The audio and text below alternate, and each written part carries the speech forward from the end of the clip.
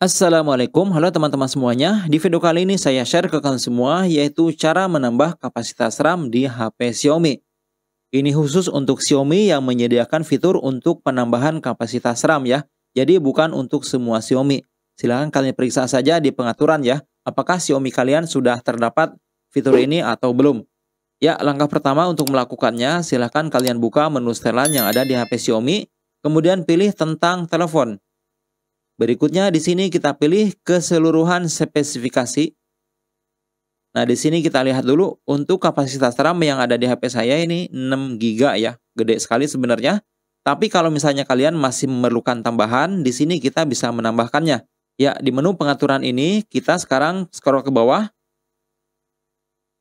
Lalu setelah itu pilih setelan tambahan.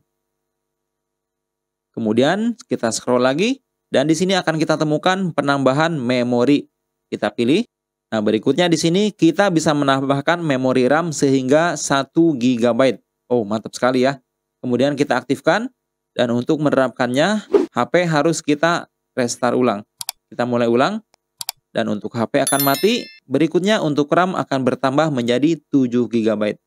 Oke teman-teman, itu dia untuk video singkat pada kesempatan kali ini yang bisa saya bagikan dan terima kasih banyak sudah menonton. Wassalamualaikum warahmatullahi wabarakatuh.